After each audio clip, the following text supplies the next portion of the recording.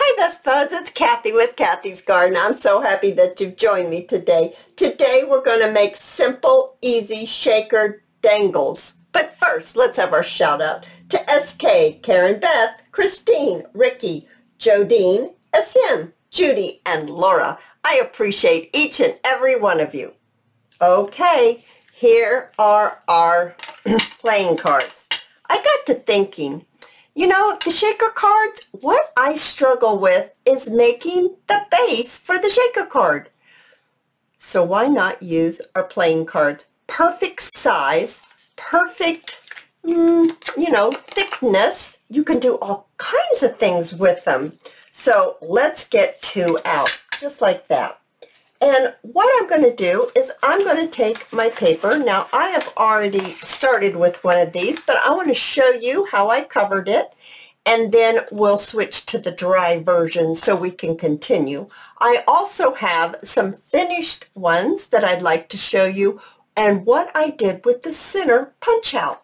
Okay, so this is a Roxy Creation Easter printable. I think it's beautiful. I have coffee dyed it, so it did change its color a little bit. I really like it. And what I want to do is I want to cover this uh, card. And so what I'm going to do is I'm going to look at it here and see what do I want. I think I want yeah, I want that part right there. So I'm just going to trim right here, just so we get a piece that is workable under the camera. There we go. Move this out of the way. and I would like to use the three, I think. So, and I want my shaker to be up and down. Excuse me. So I'm just going to get my glue, and I think I'm going to use my tacky glue. Not that it really matters. You can use whatever glue that you want. So I've done a couple of different versions of this. One of them I painted, and I'm going to show you what that looks like. I really liked how that turned out. And so I will show you. I'm just looking, it has an up and down to it. So I'm trying to pay attention to my up and down. And I'm just going to smooth my glue out so it doesn't get all wrinkly. And I'm going to give it a trim right here. And I'm just trimming around my card. Trim around your playing card. Yeah, trim that one around a little too much. It will be okay. Okay, there we go. Nicely trimmed around. Now, the next one, which is my Queen of Diamonds, I am going to leave her facing up, and I'm going to just uh, put the glue on the back side, or whatever size you want to call this. I don't know if this is the front or back of a playing card, but on this side because I want my queen.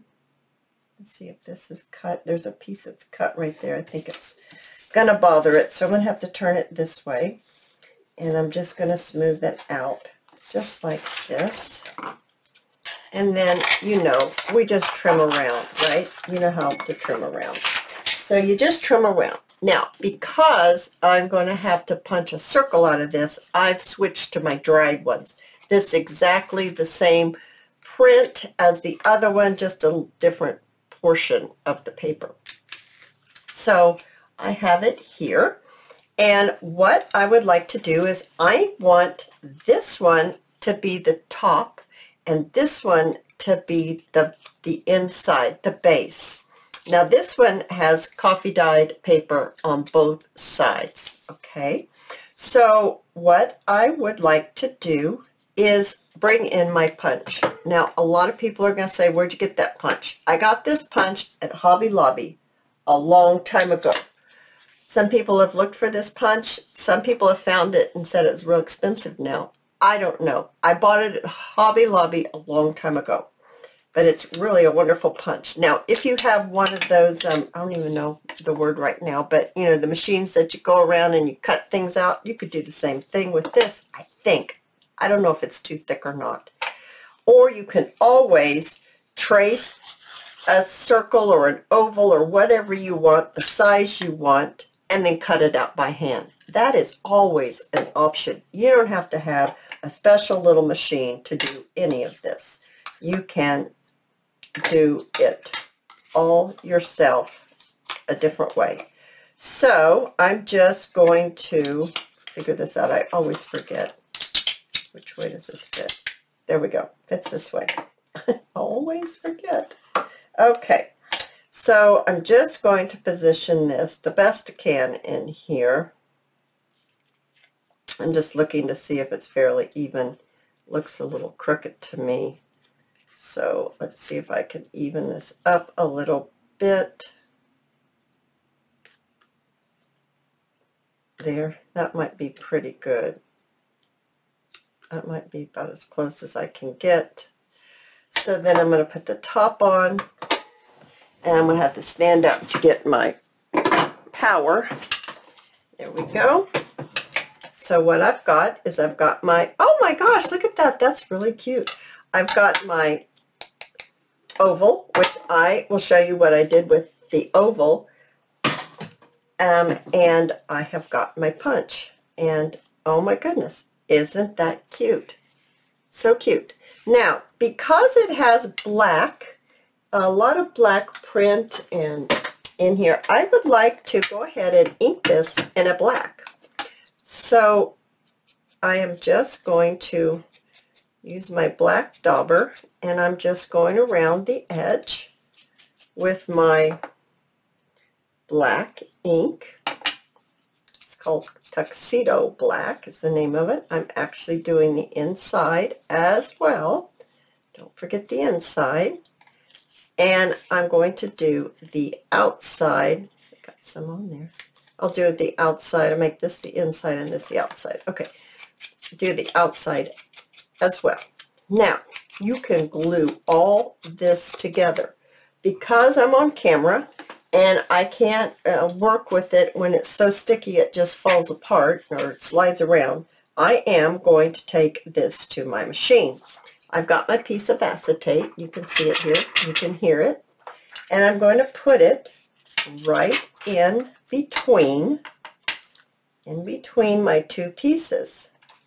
And I'm just kind of lining my pieces up. I'm going to put a little paper clip on it to hold them. And I am going to go over to my machine and I am going to sew around these two pieces of paper with my acetate inside. I am not going to sew the top. That's how I'm going to fill it. If you're gluing, you just glue down this side, this the bottom, and the other side. Do not put the glue in the center. Then you're going to have to wait to let it dry before you fill yours. That's why I'm going to sew because I don't have time to wait. We must get this video done. All right, I've sewn around the edges. You can see it better on this side. And now I'm just going to trim my acetate from around the edges, a little bit of the card there, just to clean it up. This piece right here needs to be cleaned up right there. Okay, looking good. Now, I am going to fill it. So I'm going to open it up and I'm going to put, make sure my acetate is on the side of the front card, the one with the hole in it and I'm just going to insert my bone folder. Can you see this piece of acetate right here? It's on that side, so it's on the same side as your hole. Very important. So then I'm going to get my sequins. I'm using gold sequins, and I'm going to put some gold sequins in here.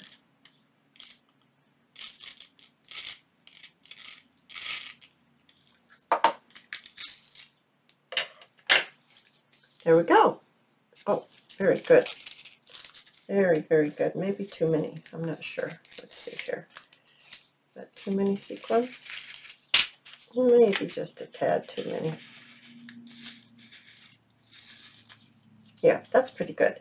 Now I'm going to take it and I'm going to sew the top. If you're not sewing, then you would glue the top, right? Isn't this looking good? Okay, all right, so I've got my shaker card all sewn around.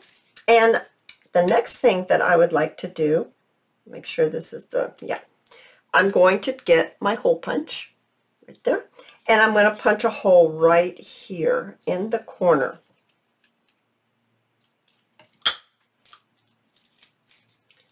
Get it to release. There we are. Holes in the corner. And if you don't have the next piece that I have, you can always use these. And you can color them with your dauber that the same color as you went around the edges with. You can color these. Okay, they take color very well, the reinforcement circles. But if you happen to have one of these gadgets, which sets one of these, I don't even know what these are called, these little circle things, then you can use this. So I'm going to do this. Hopefully this will work because sometimes this doesn't work the way I want it to But use my strength, punch it. Oh, it worked. Okay, and there we go. That's all set in there. A grommet, I'm not sure what we call it. Now, let's decorate. So I've got a label that I've made myself, and I thought maybe this would be cute here. I have a bow, Shabby Dabby Doodah, which I put some glossy accents on this and made it shiny.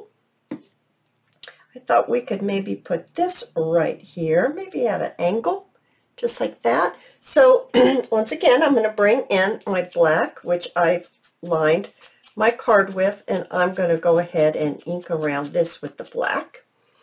And then I'm going to get my tacky glue, and I'm going to glue this down. So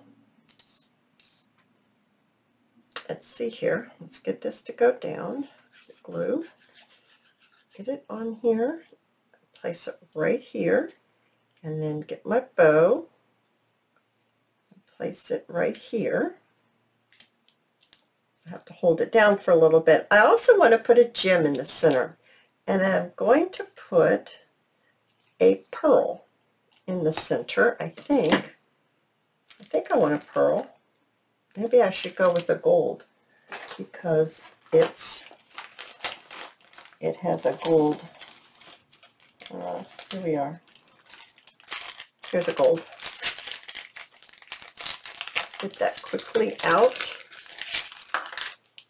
and get my little pin I used to lift it off. Get it lifted off. Oh, come on. Lift off. And then I'm going to place it right in the middle, just like that.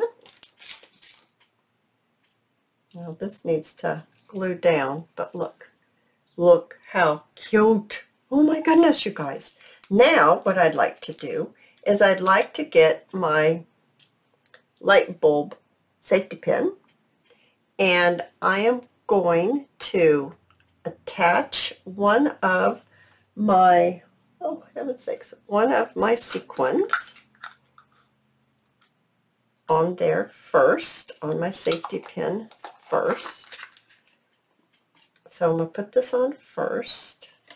And then, I don't know if this bow will work because I grabbed it out of my stash drawer. You know, when you start, you were making something and then it didn't work the way you wanted and I put it in my drawer, my scrap drawer I should call it. Then I'm adding some black lace. So there we go. And then I'm going to go ahead and clip it right through here. There we are. Oh yeah, that's cute, right guys? Oh my gosh, that's so cute. Now let me show you some other things that I've made. I made one like this. Isn't that pretty? And what I did was I painted my playing card with this matte acrylic paint, quick dry. I bought this for less than a dollar at the craft store. I think you can buy them at Walmart too. And I painted them. And the back I left unpainted because it's the Joker. He happens to be upside down, but um, I think that's really cute. And then what I did out of the center was I painted the center that got punched out with the, it's called Enamels Superior Coverage Gloss Finish Acrylic Paint. And it's the gold. And then I stamped it with um, a stamp in black. And I put a butterfly on there. I glossy accented the butterfly. And I put a little jewel in the center. Isn't that cute? And then I also painted the back. And that's the card that came out of that one. Now this one, whoops, this one is in the pinks. And I put the shaker things inside. And this one is covered with the pink dyed paper that you could journal on if you wanted to.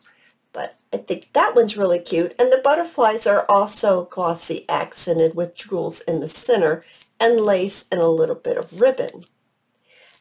For the center that came out of this one, I decorated this one like this. I just took a label, I stamped it with some words, I put a butterfly, I did not glossy accent this butterfly, and I put a jewel in the middle. And so that one's double-sided paper on that one. I you know, I, it's not double-sided paper. I made the circle, the oval, uh, covered in front and back. And then this one is blue that I, I took this and I painted around the outside and the inside of the oval. And then I took a beautiful gold butterfly and a label that I made myself and then some ribbon and some black lace and another butterfly with a jewel inside. I really like that one. And this one has the Queen of Hearts on the back. And that circle looks like this that I decorated. I took the gold paint, I went around, I went around the little miniature postcard and the the little bow from Shabby Dabby Doo Dah and that one is like that. Oh, you guys, I think these are so much fun, and I think that you will love to make them. Oh my gosh, if you've loved this video, please give me a thumbs up. Now remember, I invite you to enter into my giveaway that will be soon. It's in the playlist. It says Junk Journal Giveaway, Enter to Win and I invite you to subscribe to my channel and I'll see you in my next video. I'll see you soon guys. Bye now.